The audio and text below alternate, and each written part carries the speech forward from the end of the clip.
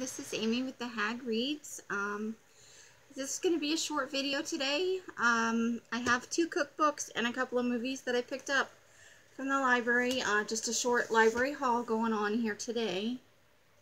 Um, I have totaled everything but my pages for um, October, so that will probably be in my Spooktober or 31 Days of Horror video um, that I'm going to do in just a little bit. Um, I won't have anything completed because today is the first day and I'm still working on the actual video and book that I'm reading. So um, uh, that is coming. So the first actual video that will contain completed items will fall tomorrow. There'll be things I finished today, but later today, and I'm not going to make a video, uh, you know, at 9 or 10, 11 o'clock at night when I finish. I'll just wait and do it tomorrow uh, at a more convenient time. So um, today's video is just a short, short two cookbooks. Um, the Good Housekeeping Family Vegetarian Cookbook, Family Vegetarian Cooking. 225 recipes everyone will love.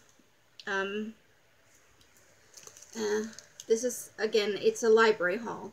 Um, now, I I haven't looked at these as in-depth as I did the other set I got, but I did a quick flip through, and I actually think I'm going to get a fair number of recipes out of this. Uh, a number of them look good and sufficiently different from what I've seen in the other cookbooks I've looked at. Um, so I'm going to be taking a much closer look at this coming up in a couple of days here.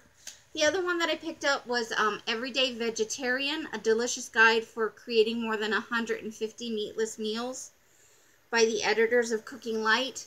Now, I have the another cookbook by the same uh, people, and uh, it's the 365, you know, it's positioned or um, divided seasonally. Um, and I did a quick flip through. There's a few, because it's category based instead of by season, I think there are a few additional recipes I might be able to call out of here, but I wouldn't buy this if I bought the other one because the recipes between the two are relatively similar enough similarity that it wouldn't be worth uh, owning both of them. But I think um, with this good housekeeping book I think I might uh, look up that one and see how much that costs.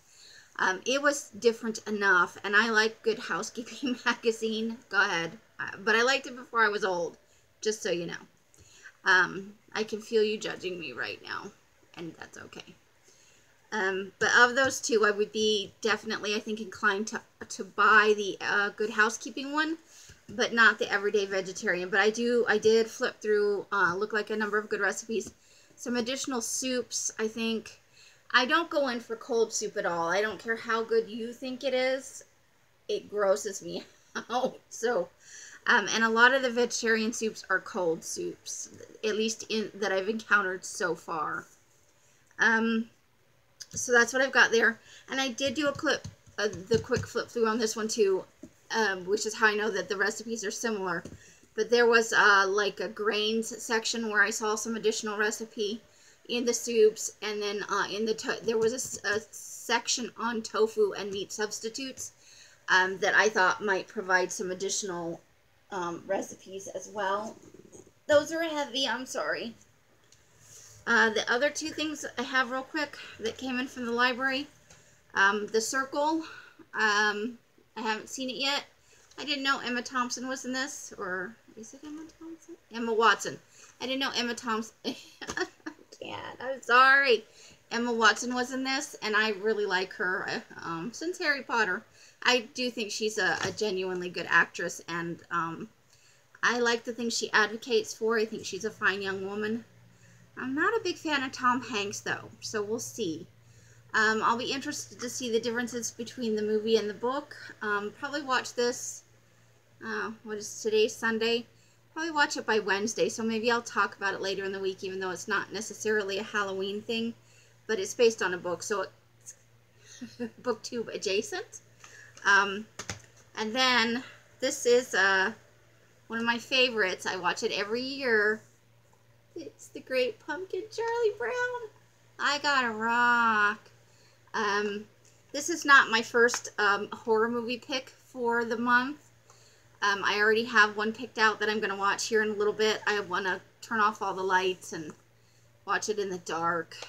and it's a cheesy horror movie, but this is one of my favorites, and I do watch it every year. Have not yet seen it this year. I, I just got it in for the library. Super excited. I'll want to watch it a couple of times and then send it back because um, it has no renewals on it naturally. It's October. Everybody's going to want to watch it. So I don't want to hold on to it to, for the full rental period or for the full checkout period because I want other people to enjoy it too. Um, and that's it. I think this will be my shortest video ever. Um, I will have another separate video for Spooktober or, or, my 31 Days of Horror, and it will be equally short. Um, it'll just be uh, the book that I'm reading and a brief synopsis, and the movie that I picked out and a brief synopsis, and then I'll get back to you tomorrow with my feelings on the completion of that and with the choices for tomorrow, which will, you know, so that's how this will work for me uh, throughout the month.